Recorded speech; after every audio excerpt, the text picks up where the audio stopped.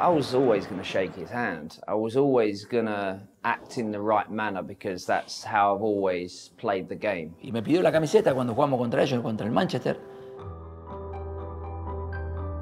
Seguramente por un momento duro para su carrera, pero que también le dio mucha fortaleza para, para obviamente ser el, el futbolista y el hombre que, que es dentro del fútbol.